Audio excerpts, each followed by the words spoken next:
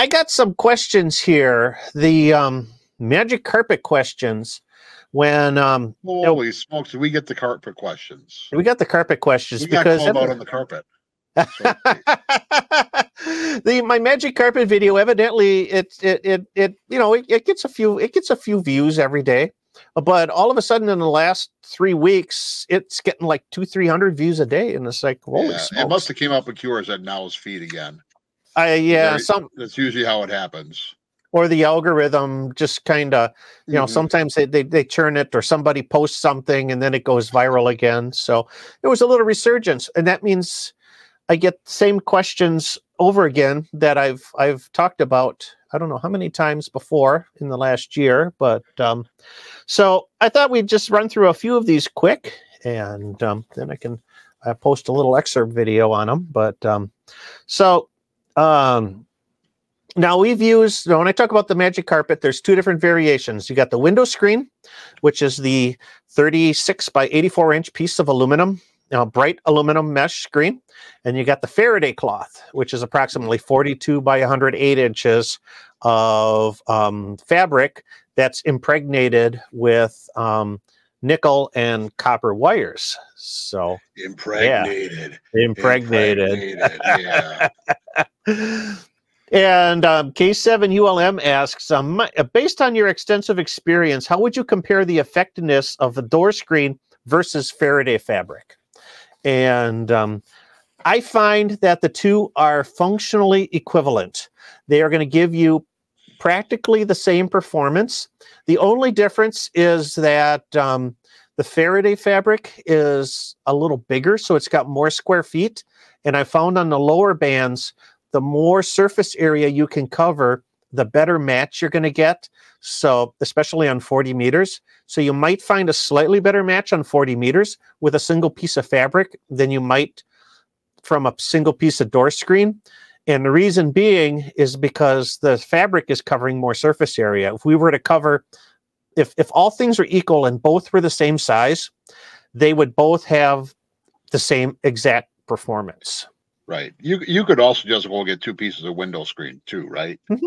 Oh yeah, yeah. You know, and kind of sort of you know you know kind join, of line them up. Yeah, join them together. It really, it's it's and the. So okay, go out and buy a Faraday cloth. Yeah, they may you know roll out a little bit easier.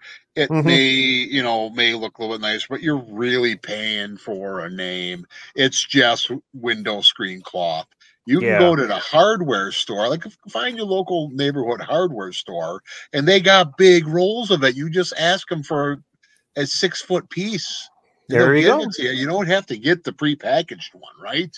Yep. And it's the same thing. It doesn't have to be impregnated with nickel because that ain't gonna make a difference. No, right? no. You'd have to get something ginormous, like a quarter wavelength in each direction, for it to really start to play play an effect. And it, it's silly. It's silly. Just go out and buy some cheap window cloth in bulk, and you're good to go. You're good to go. Yep. The um the adv- the only advantage to the fabric is that it folds up nice and compact. So if you're mm-hmm. backpacking, mm-hmm.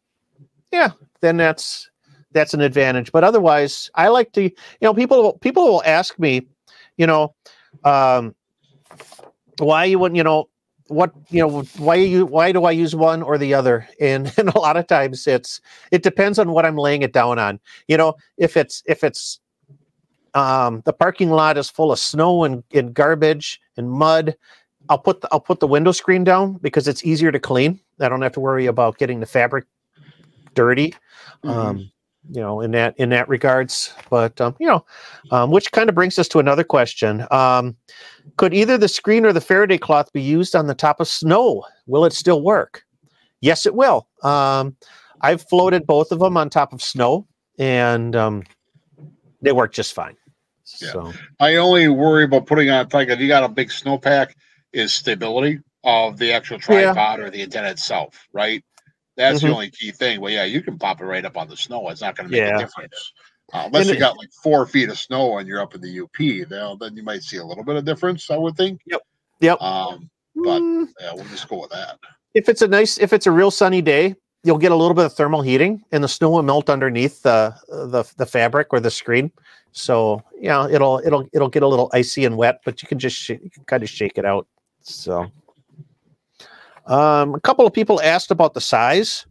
Um, can you address the cloth and screen effect on pattern, SWR and pattern, or what you know, or if they're in, independent?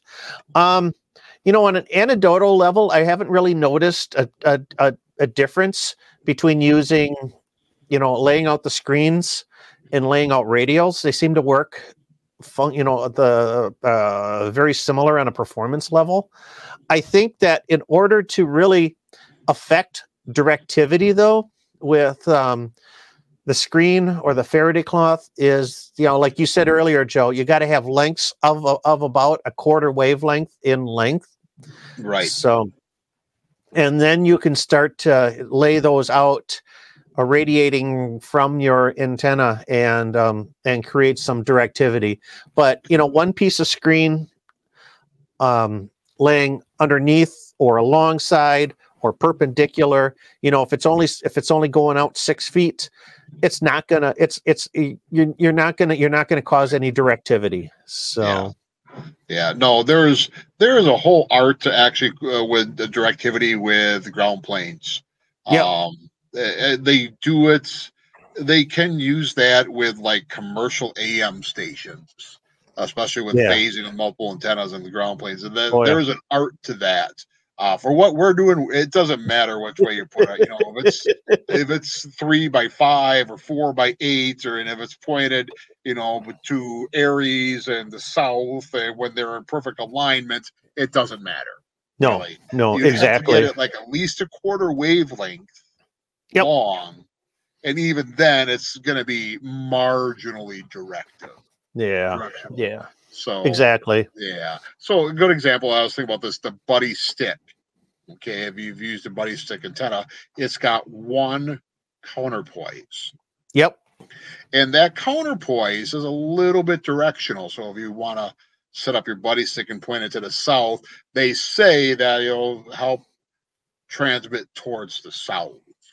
Now, I Mhm. never really got that too much. I It, it does help a little, I, I'm sure, but it's not that much. But when you have a ground plane, you kind of got your surface area even, right? Yeah, so it- exactly. It doesn't, it doesn't make much of a difference. yeah. Um, it's like the same thing if you put like a mag mount two meter antenna on a on a um, cookie sheet, Mhm. right? You can turn that cookie sheet any which way, even though the cookie sheet itself is actually probably you know 21 inches or 19 inches. It's definitely close to a quarter wavelength. Um, it's not really going to make that big of a difference. No, no, it doesn't. Yeah, yeah. And then finally, somebody asks, um, "Is there a reason why it's not square?" You know, you know, because you know the concept, cons- um, conventional wisdom is, you know, want your radials to go out all directions, you know, like in a big circle, but you're Mhm. using a rectangular piece of mesh or screen or something. You know uh, why it's not square? Because it Yeah. comes prepackaged rectangular. That's why. exactly, exactly. Why. And And, if not it was square, it wouldn't make a difference. No, because it's not it's not the size of the of the of the screen, it's the surface area that it covers. That's the important part. It's surface area, not size. Um, as you increase um, lots of little radials, um, you know, if you're using lots of little radials in your that are ground mounted on a vertical antenna, you get um, you'll you'll receive um, greater um, you know uh, uh, or, or less you know a, a less loss is a greater um, effective um, dBi in the in the takeoff of your of your radiated si- signal. And that's the same thing with the screen. It's the more surface area you can cover the better um, you know the, the better match the, the the less of the less of the ground losses you're gonna you're gonna receive so You've been reading that antenna book, haven't you? you know actually so i was reading about counterpoises Oh, oh, oh, Whoa. oh. and now of course i can't find it but You know got that chapter and verse memorized. I, I bookmarked it but um The bookmark fell out. No, it's it's right here. I'm on the page. I just can't remember what paragraph. I should have put a sticky note on the paragraph, um, because it the act the actual word that he used. Um, uh, let's see. More, it it had to do with um, lots of um, sh- lots of counterpoises. It created sort of a thickening of the of the signal, which was a was an interesting interesting term. Um, a thickening. A thickening. And now Size doesn't matter, but thickening does. Yes. Yes. Um, so it's so it says in here. So it is. You know, the well, Hamilton antenna book. So uh, yeah. Chuck as asked, it was written, so may it be done. yeah, Chuck asks, what book do we have there? Rothammel's antenna book. Okay, Ralph Hamill. Rolf yeah. Hamill. Yeah. So this, so give you an example if you've had the ARRL antenna book. That's like yeah. the cliff notes of this. Yeah. Okay. This came down off the mountain, written in stone tablets in the original German. In the original German, off Deutsch. Off Deutsch. Deutsch into Deutsch. uh, this is translated to English, of course, but it's yes. Um, this is the uh, end all be all pretty much if you want the but it's also going to cost you an arm and a leg and it's not it's, like bathroom reading either no it's it's it's it's it's it's condensed You know, it's got a it's got a lot of information in it but the information is sparse but it has references to take you back to the original source so you can go and read you know from there um the in, in greater detail. So it gives you a starting point for about for for just about anything. But right. um, no, it's crazy. I, I, think I paid about I paid about eighty bucks for it. It's it's That's a I lot to, for a book. Yeah, I had to get it from Germany. It took about three yeah. weeks to. So is there a YouTube video on that?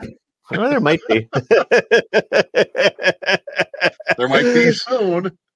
KB9 VBR antennas are simple, effective, and affordable VHF and UHF antennas for amateur radio, MURS, public safety, and GMRS. Made in the USA with quality parts. Get yours online at jpole-antenna.com.